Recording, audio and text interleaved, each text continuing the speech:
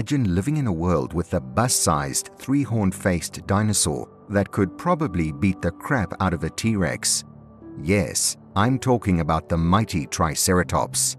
Weighing 22,000 pounds with 800 teeth and the largest skull among land mammals, this beast was a force to be reckoned with. Which is why in this video, we're traveling back 66 million years to Western North America where it lived. Surprisingly, even though Triceratops translates to three-horned face in Greek, it actually only had two real horns, each reaching up to four feet long. So then why would it be named the three-horned face? Well, what people might mistake for a third horn on its snout was more like a piece of soft protein called keratin, similar to our fingernails or hair. While it wouldn't have been much help in a fight, it certainly didn't put the Triceratops at a disadvantage. An adult Triceratops could stretch up to 30 feet long, stand 10 feet tall, and weigh a whopping 11 tons, which made it a bit larger than a full-grown male African elephant. And even though it was a plant eater, it wasn't one to mess with. Its massive body made it a beast you'd want to steer clear of. A single charge or a powerful swing of its horns could easily take down anything in its way. But hey, Triceratops wasn't just brawn, it had brains too. Its skull was one of the largest compared to its body size among land animals, which says a lot about how intelligent it really was. The biggest skull found was around 8.2 feet long, almost a third of the whole dinosaur. Now let me tell you the story of how Triceratops first popped up on the radar. Back in 1887, a fossil collector named George Lyman Cannon stumbled upon a pair of horns attached to a skull plate near Denver, Colorado. Excited about his find, he sent the horns to Professor Charles Marsh, a big shot in vertebrate paleontology at Yale University. Initially, Marsh thought it was just a prehistoric bison, but a year later, John Bell Hatcher found a more complete skull in Wyoming. That got Marsh rethinking things. And voila, Triceratops was officially recognized. Later, the Canadian Triceratops scene got spiced up in 1921 when Charles Mortram Sternberg discovered the first specimen, and later, in 1946, another find in Alberta was added to the mix. Fast forward to 2014, a group of researchers took a deep dive into over 50 Triceratops skulls from Montana's Hell Creek Formation. They looked at where the fossils were in the rocks and correlated it with changes in skull structure and it turned out that Triceratops might have evolved from one species into another over 1 to 2 million years.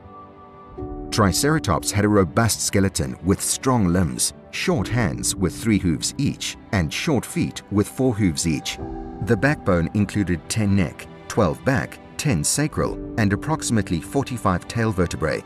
The neck bones at the front were fused into a single cervical structure. Now, as far as their posture goes, Despite early beliefs, Triceratops and its horned dinosaur pals didn't have legs sticking out to the side.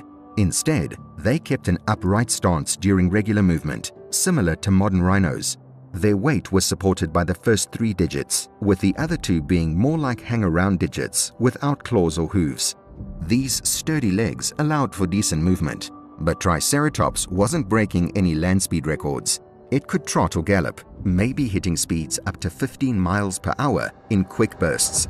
Triceratops also had some pretty cool skin, covered in big scales, some even reaching over 3.9 inches across, with pointy projections in the center. There's also a preserved piece of skin from its frill, made up of small polygonal basement scales. Now, let's talk about its neck. It was a bit odd, I gotta say. Behind that imposing frill, there's a unique ball and socket joint at the base of the skull. This joint allowed the skull to rotate in any direction, giving Triceratops a 360-degree head spin. That flexibility was handy for finding food and could also be used for defense. That head, though, was quite hefty, about 30% of the length of the whole dinosaur.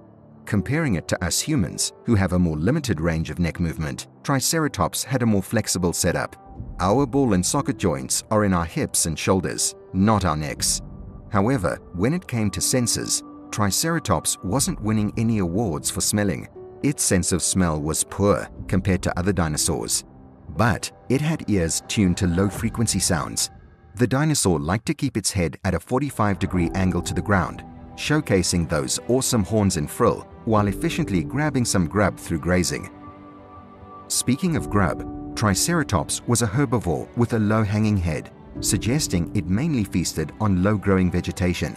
Its jaws had a deep, narrow beak that was better for grabbing and plucking than biting. Now the teeth situation was interesting. Arranged in batteries, Triceratops had 36 to 40 tooth columns on each side of its jaw, with 3 to 5 stacked teeth per column. Tooth replacement was a constant thing throughout its life, with a range of 432 to 800 teeth in total. With its massive size and numerous teeth, Triceratops likely chowed down on large volumes of fibrous plant matter. Some researchers think it went for palms and cycads, while others lean towards a diet heavy on ferns in prairie-like environments. Now, let's talk about those iconic horns and frills. Initially thought to be weapons against big predators like Tyrannosaurus, evidence suggests they might have used them in some serious head-on encounters. Marks on Triceratops's brow horn and frill show battles with T-Rex, and a lot of paleontologists think Triceratops had the upper hand in these scuffles. But there are a lot of theories on what the real function of those fancy frills might have been. First off, the frill was most probably there for show-off. It wasn't super thick or strong, so it probably wasn't for protection. Instead, it was a display piece, a way for Triceratops to warn predators, attract mates, and show off its strength to fellow herd members. But the frill couldn't have been there only for the looks. It also provided a prime spot for jaw muscles to attach, being highly vascular. While it might have served a defensive purpose, most scientists lean towards it being more of a flashy display or competition tool. The idea that the frill helped regulate jaw muscle attachment hasn't gained much traction. But wait, there's a love story in the mix too. Some researchers believe the frill evolved as a result of sexual selection. Essentially, Triceratops with impressive frills were more likely to catch the eye of potential mates. Now, onto the practical side. It could have also been a temperature regulator. The frill and horn cores could have played a crucial role in stabilizing brain temperatures, especially in extreme weather conditions. And now, the blockbuster theory, defense against predators.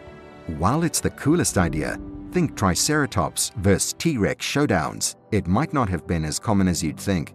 Triceratops' ancestors were more like house cats in size, and the epic battles you see in movies were probably rarer than we all wish.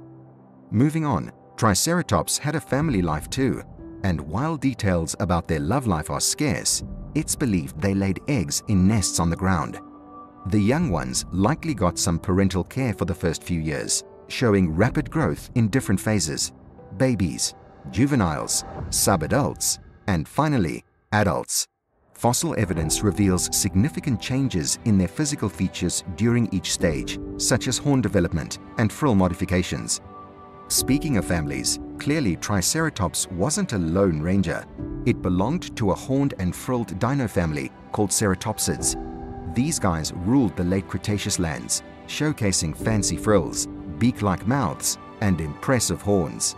Some, like Styracosaurus, had spikes on their frills, while some, like Protoceratops, kept it more low-key. But all of them, Triceratops included, were herbivorous herd animals roaming the late Cretaceous.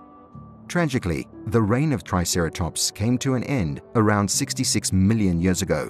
A colossal asteroid, approximately 7.5 miles wide, collided with Mexico's Yucatan Peninsula, causing an environmental disaster.